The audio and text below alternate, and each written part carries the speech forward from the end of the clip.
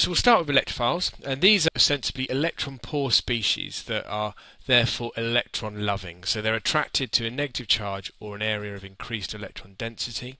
Uh, and the way they participate in bond formation is by accepting a pair of electrons. The three important types of electrophiles are firstly these positively charged species here. These are the most reactive of the electrophiles that readily accept electrons. And predominantly we're talking here about protons, but as we'll see in a bit, there are other types of electrophile of this nature. Uh, the other really important electrophile is uh, molecules of this type where we've got a carbon that has a group that's both electronegative and a good leaving group.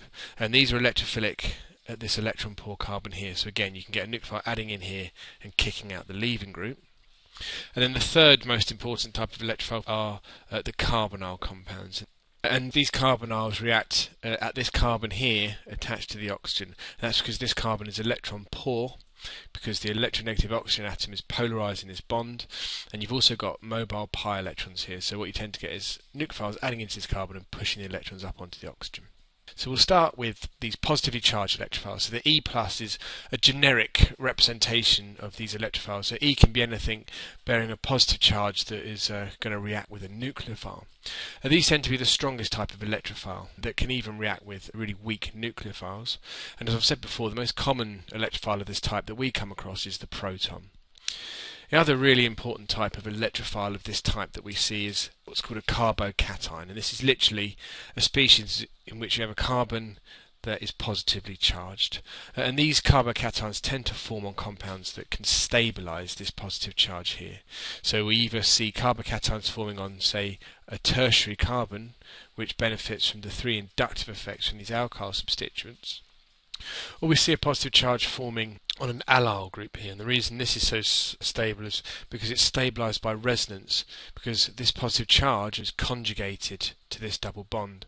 So this double bond can move to neutralize this positive charge, which in turn takes electrons away from this carbon here to generate this positive charge here. The more resonance forms you've got for a species and the more you can spread a charge out, the more stable it will be. The way these carbocations work is you tend to get heterolytic bond cleavage here to generate the carbocation and these are really reactive species so these will react with even weak nucleophiles say for instance an alcohol here so this alcohol is capable of being nucleophilic via this lone pair of electrons here which add to this positive charge to form this new carbon oxygen bond here. These weak nucleophiles tend to have a proton attached so after they've done this bond forming step here there's a positive charge on the atom that bears the lone pair of electrons, so to neutralize that we lose the proton and get our neutral product here. And just to show how an allyl carbocation is formed and then how it reacts, we could start with something like allyl bromide here, and again we get our heterolytic bond cleavage, we get this relatively stable carbocation, but that's only relatively speaking, this is still a reactive species, and again, this can react with a weak nucleophile like water, for instance, to form this new carbon-oxygen bond and we then lose the proton to neutralize this positive charge here and we have our neutral product here. We then move on to look at electrophiles of this nature here where you've got a carbon that has an electronegative atom attached that is also a good leaving group where X is chlorine, bromine or iodine. And what you've got here is you've got a, quite a polar bond you've got a group here that can leave the molecule. So what you tend to get is nucleophiles adding to this electron poor carbon here and kicking X out of the molecule. So if we look at that in action, if we have just a standard primary alkyl halide here, for instance, where X can be any of these, these aren't particularly reactive electrophiles. You'd need a fairly strong nucleophile to react with it. And the way the reaction occurs is you get this bond formation between the nucleophile and this carbon, and then to make way for that new bond, the carbon halogen bond then breaks to give you your substitution product here. And of course, the halogen leaves as a halide anion. And this is quite a stable anion because it's got a noble gas electron configuration. And then we move on to the final type of electrophile that's really important for you, and that is carbonyl electrophiles. There's three important types of carbonyl electrophile. There's the ketones and aldehydes, where R is either an alkyl group or a hydrogen. And these types of carbonyl compounds have no leaving group attached to this carbonyl carbon here. So these only undergo addition reactions.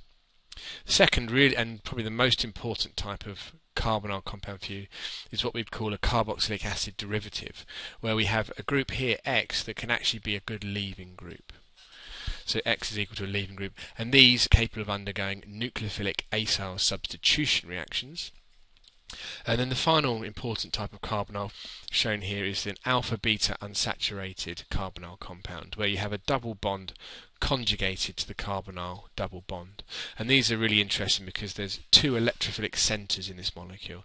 You can either get standard nucleophilic addition to the carbonyl carbon, or you can get nucleophilic addition to this carbon here because because this double bond's conjugated to this carbonyl group then this carbon here can also fill the pull of this electronegative oxygen which makes it itself electron poor and therefore electrophilic.